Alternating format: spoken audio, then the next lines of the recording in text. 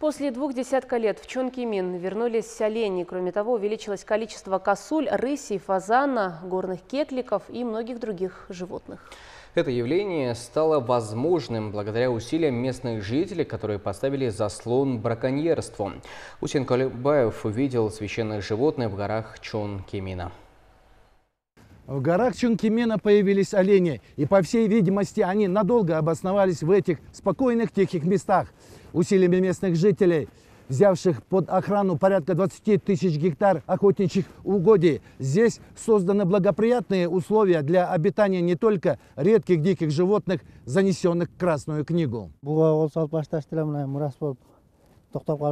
Эти ребята из села Тарсу уже два года охраняют заповедные места. С начала 90-х годов прошлого столетия на этих угодьях постоянно были слышны выстрелы браконьеров. Тогда началось хищническое истребление оленей, косуль и многих других животных. После этого олени покинули эти места.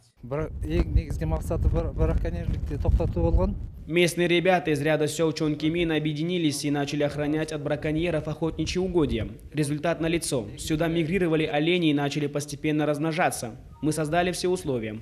Морал, благородный олень, издревле считался у кыргызов священным животным. Из-за массового истребления поголовье резко сократилось. Они сохранились в незначительном количестве на Рынской, Иссыкульской и Чуйской областях. Всего по Кыргызстану насчитывается порядка 400 оленей.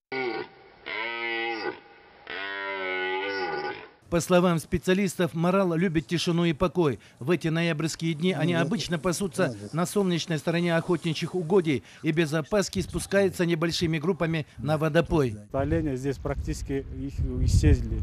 На сегодняшний день э, учет дает 17 голов. Кроме того, э, очень сократилась численность кос косули. На, на сегодняшний день косули более 80 численность дают. Э, и вот это движение мы хотим распространить по всей республике. Здесь ребята, охраняя диких животных, работают на безвозмездной основе, не получая заработную плату.